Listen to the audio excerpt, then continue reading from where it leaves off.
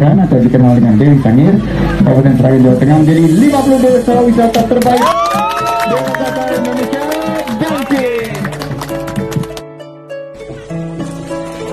atau dikenal dengan Dewi Sangir, Kabupaten Seragen Jawa Tengah menjadi 50 desa wisata terbaik. Wisata Indonesia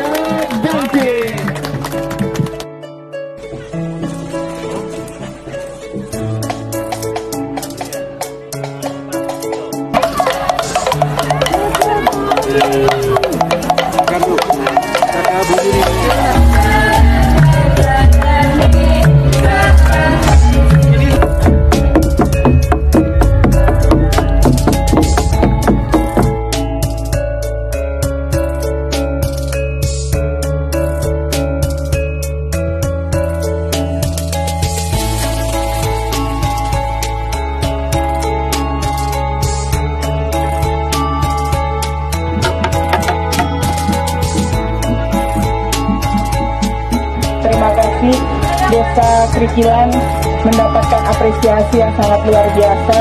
Ini tandanya bahwa Sragen walaupun potensi alamnya tidak begitu menghasilkan seperti yang ada di pegunungan dan punya pantai, ternyata kalau kita bisa menggali kelebihan dan kekayaan kita sendiri ternyata kita mampu.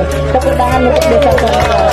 Desa Krikilan. Iya, saya lihat potensinya luar biasa ya karena wisata edukasi, wisata berbasis sejarah, wisata berbasis budaya, dan ini menurut saya potensinya sangat luar biasa. Tapi yang paling betul-betul menyentuh saya adalah produk-produk ekonomi kreatifnya tadi. Pasar budaya Pak. Pasar budaya. Pasar budaya. Dan ini adalah omah budaya Sangir menghadirkan gerak geliat ekonomi dan membuka peluang kerja bagi masyarakat desa Amin. wisata Sangir. Jadi desa wisata Sangir ini menariknya adalah desa wisata rintisan. Rintisan, ya, Pak, ya? Baru dua Baru tahun terus terkena COVID.